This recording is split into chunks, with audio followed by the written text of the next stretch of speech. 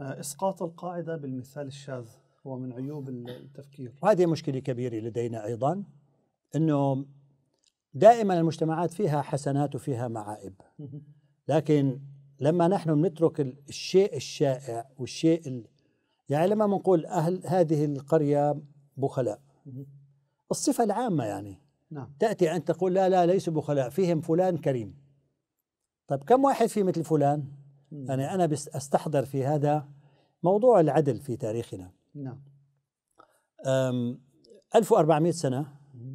دائما لما نأتي نتغنى آه، ونحن نتحدث عن مآثرنا الحضارية نذكر العمرين. صحيح. طيب لو لم يكن العمران موجودين في هذا التاريخ المستطيل في الزمان والمستعرض في المكان. لو ما كان في إلا هذان الرجلان إيش نصنع؟ صحيح. ثم وجود اثنين أو خمسة أو عشرة أو ثلاثين أو خمسين. في مئة في أمة كانت تحكم نصف العالم يوما ما. ولفترة طويلة من الزمان أربعة عشر قرنا يعني في تاريخها الطويل. وتأتي تقول لي والله عندنا فلان وفلان كانوا عادلين فلان وفلان كانوا كرماء وفلان وفلان كانوا زهاد. أنت تسقط القاعدة العامة وتغض الطرف عنها وتصدر الحكم بناء على شيء على شيء شاذ.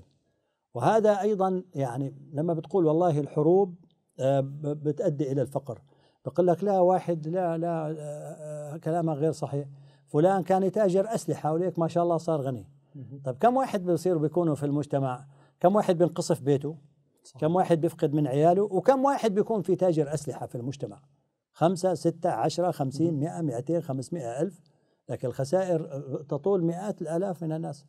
فإسقاط القاعدة كما يقول مالك بن نبي رحمه الله إسقاط القاعدة بالمثال الشاذ هو ما ابتلينا به في كثير من مفاصل التفكير في مفاصل التفكير لدينا وتقدير تقدير الحالات وتقدير وتقدير الأوضاع.